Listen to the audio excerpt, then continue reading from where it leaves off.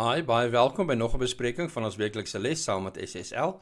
Ons kyk hierdie kwartaal na saam met Christus in die smeltkroes en ons is by les 8 om die onsigbare te sien. En ons les vir vandag vir Woensdag 17 Augustus is om al ons laste te dra. Ons geheeteks vir hierdie week se les vind ons in Hebreërs 11 vers 27 en dit lees soos volg: Deur die geloof het hy Egipte verlaat sonder om die toorn van die koning te vrees want hy het volgehou soos een wat die onsigbare sien. Hebreërs 11 vers 27 ek lees weer. Deur die geloof het hy Egipte verlaat sonder om die toorn van die koning te vrees, want hy het volgehou soos een wat die onsigbare sien. Hebreërs 11 vers 27. Kom ons open met gebed. Hemelse Vader, baie dankie vir nog 'n nagrus en 'n nuwe dag. 'n Nuwe geleentheid om u woord te open en daaruit te leer. Spreek asseblief tot elkeen van ons se harte in Jesus se naam. Amen. Ek wil net herinner, druk asseblief die duimpie knoppie en gesels met ons in die kommentaar gedeelte hieronder.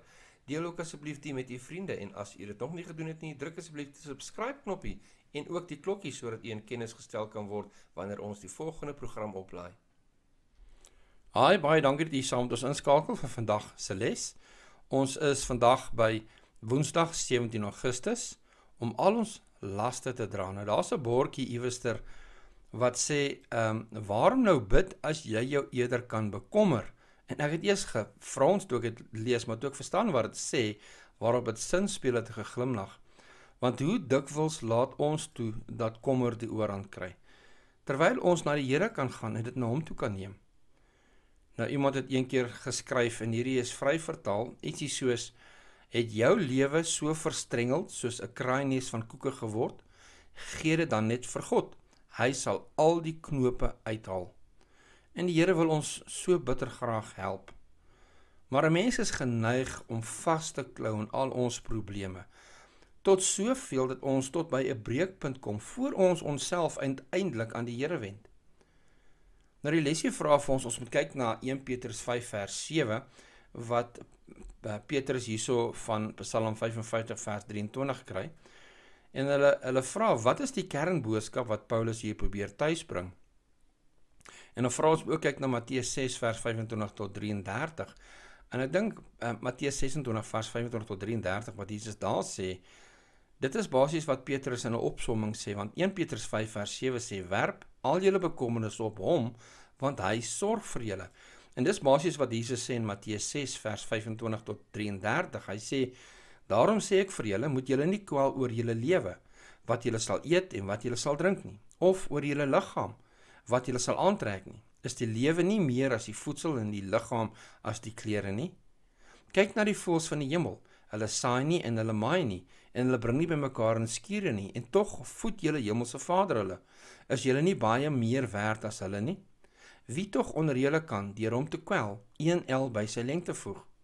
En wat kwel julle heel oor klere? Let op die lelies van die veld, hoe hulle groei. Hulle arbei nie en hulle spin nie. En ek sê vir julle dat self Salomo in al sy heerlikheid nie bekleed was soos een van hulle nie. As God dan die gras van die veld wat vandag daar is en môre in 'n oond gegooi word, so beklee, hoeveel te meer vir julle klein gelowiges? Daarom moet julle julle nie kwel en sê, wat sal ons eet of wat sal ons drink of wat sal ons aantrek nie? Want na al hierdie dinge soek die heidene, want julle hemelse Vader weet dat julle al hierdie dinge nodig het. Maar soek eers die koninkryk van God en sy geregtigheid en al hierdie dinge sal vir julle bygevoeg word. Nou hierdie 1 Petrus 5 vers 7 wat sê werp al julle bekommernisse op hom want hy sorg vir julle. Dit is tog 'n een eenvoudige vers. Dis nie moeilik om te verstaan nie, daar's niks verborge daarin nie. En hierdie woord om dit te werp beteken mos om dit weg te gooi weg van jou af. Wat se pyn en wat se kommer en wat se besorgdheid daar ook al kan wees, het niks meer met jou te doen nie. Maar dit verdwyn nie net in die niet nie. Nee. Ons gee ons bekommernisse aan ons hemelse Vader en hy beloof om dit uit te sorteer. En dit is presies wat Jesus ook vir ons in Matteus sê. So die probleem is nie dat dit moeilik is om ons bekommernisse op hom te werp nie. Die probleem is dat dit klink te goed om waar te wees. Dit klink net te maklik te wees. Nou die oorsake van die kommer in elkeen van ons se lewe is verskillend. Dalk kan dit werksdruk wees, miskien is dit kritiek of miskien is jy verstote of ongeliefd, dalk het geldelike probleme of gesondheidsprobleme. Ehm um, dalk kan dit wees dat jy nie in die oë van die Here goed genoeg voel nie. Dat jy voel dat die Here se siening omtrent jou is dat hy jou nie kan vergewe nie. Wel, nog 'n rede is dat 'n mens so vasklou in ons probleme omdat ons glo dat niemand anderster dit kan uitsorteer soos ons self dit moet uitsorteer nie. Maar Petrus wil graag hê dat ons van hierdie sienswyse moet verander, dat ons dit moet heroorweeg. Want God gee werklik vir ons om. Nou, dit laat 'n mens miskien wonder, maar gee die Here dan werklik om wanneer ek op 'n randjie van 'n egskeiding staan of uh, wanneer wanneer daar uh, uh, ek soos 'n nul op 'n kontrak voel? Want die Bybel sê dat sy besorgdheid so erg is dat hy bereid is om enige situasie te transformeer. Maak nie saak hoe groot of hoe klein dit is nie.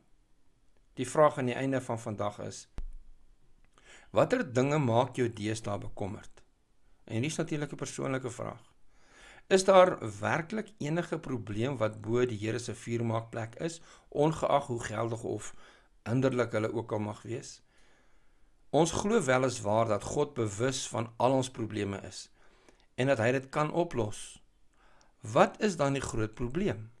Miskien dat ons nie glo dat hy dit sal oplos soos ons dit opgelos wil hê nie. Bepyn hierdie laasgenoemde en vra jouself af: Is dit dalk waarom ek so aan my probleme vasklou? Dat ek glo dat hy dit gaan oplos op 'n manier wat ek dit nie wil so hê nie?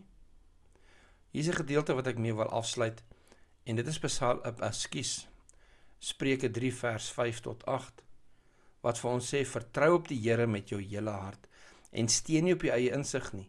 Ken hom in al jou weë dan sal hy jou paai gelyk maak. Wees nie wys in jou eie oë nie vrees die Here en wyk af van wat van die kwaad. Dit sal genesing wees vir jou liggaam en verkwikking vir jou gebeente. Kom ons bid. Hemelse Vader baie baie dankie dat ons kan lees en kan weet Here dat U vir ons genesing bring vir ons liggaam en verkwikking vir ons gebeente. As ons op U vertrou en aan U vashou. Help ons Here asseblief en versterk ons geloof. Hemelse Vader, sodat ons kan weet U gee om. Dat ons kan weet Here dat ons ons bekommernisse op U kan werp, dat U sal sorg. Dat ons nie hoef te worry oor môre nie, want ons weet ons Here is in beheer. Help ons Here om dan eerder te konsentreer op die koninkryk van God. Hemelse Vader, mag U naam asseblief verheerlik word in ons en deur ons. Ons bid dit asseblief in die naam van Jesus Christus. Amen. Daar sê baie dankie dat julle saam ons ingeskakel het vir vandag se les. Tot volgende keer. God se ryke seën.